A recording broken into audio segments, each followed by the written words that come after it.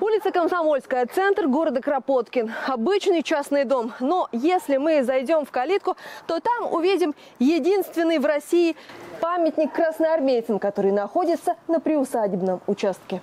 Охраняют покой павших бойцов третье поколение семьи Зыряновых Долбниных. Вот уже 80 лет ухаживают за братской могилой. На шести сотках настоящий парк с вечно зелеными растениями. А посреди монумент. На нем фото и 9 имен рядовых и сержантов. Этот памятник поставили его где-то вот в конце 50-х годов.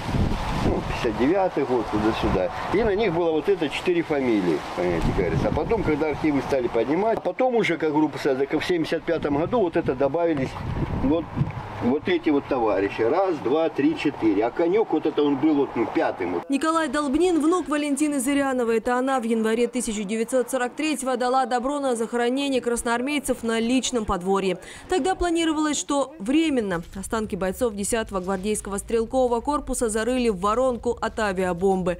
Фашисты скинули ее на дом, в котором разместились почти два десятка советских солдат.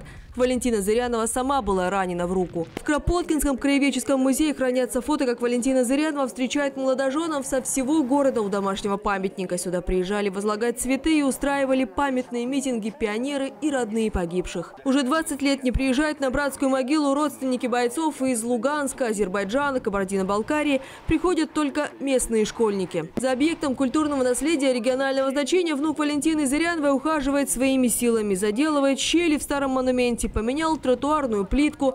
Николай Долбнин по семейным обстоятельствам хочет уехать из Кропоткина и продать участок с домом, но только в добрые руки, пока его не готова приобрести даже местная мэрия.